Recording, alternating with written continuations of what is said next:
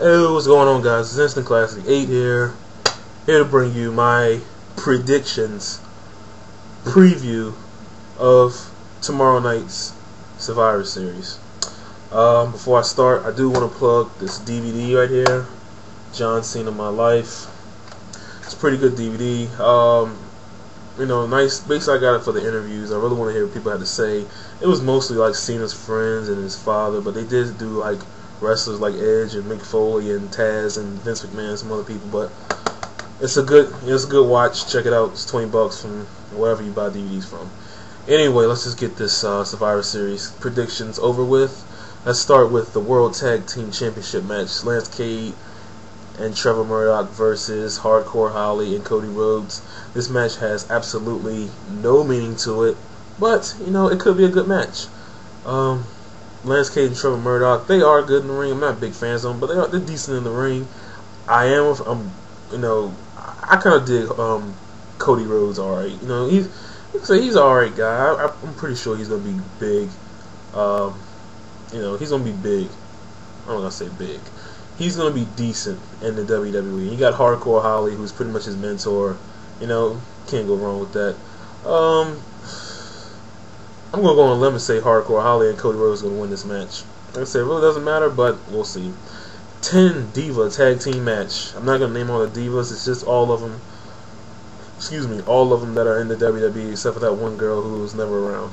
Um, you basically got the heel team versus the face team, like any Survivor Series match. Um, I want to go with the face team just because they got uh, Kelly Kelly on there and everyone loves her. We got the triple threat match for the ECW Championship. The ECW champion CM Punk defends against the tag, the WWE Tag Team Champions John Morrison and The Miz. I'm hoping this match is good. Uh, the Miz sort of surprised me at Survivor, that Survivor Series, Cyber Sunday with his match against CM Punk, and we know that CM Punk and John Morrison can have a good match. So hopefully this one is better. You know, hopefully it's better. It should be a good match. I'll do like to see how they'll play this out since Morrison and Miz are the tag team champions. I would love to see how they play this match out. Um, I'm gonna say CM Punk retains. I think Morrison will get the title back soon, but I don't think right now. You know, just because the way they won those titles on SmackDown, I just say CM Punk retains. Um, Hornswoggle versus the Great Khali. Who cares? Um, it's strictly for entertainment. That's the only reason why. They're gonna make Khali look stupid, and who really cares? Hornswoggle's gonna win. Um, you have the traditional five on five Survivor Series match Team Triple H versus Triple H, Jeff Hardy, Matt Hardy, Rey Mysterio, and Kane versus Team Umaga, which is Umaga, Kennedy, MVP, Finlay, and Big Daddy V. Uh, even though I want to see the heels win because I'm a huge fan of MVP and Kennedy, I'm pretty sure that the faces are going to win. Uh, with Triple H being the lasting uh, competitor, probably Triple H and hopefully it's not Triple H and Umaga. Hopefully it's like Triple H and MVP, Triple H and Finlay, Triple H and Kennedy.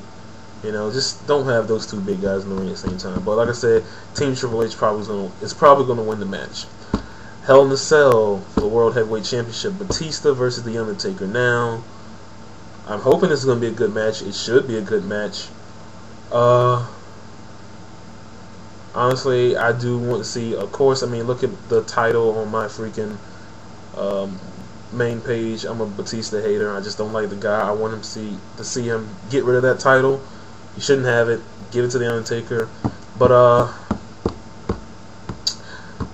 I'm gonna say that this is my prediction. Okay, the Undertaker wins the match, wins the championship, and then out comes Edge to attack I'm gonna say attack the Undertaker. At first, I was gonna have Batista keeping the title with Edge coming in, and I'm not gonna say helping him, but attacking the Undertaker. But I'm gonna say Undertaker wins the Hell in a Cell, wins the championship, and then Edge, rated R superstar, comes in and attacks Undertaker.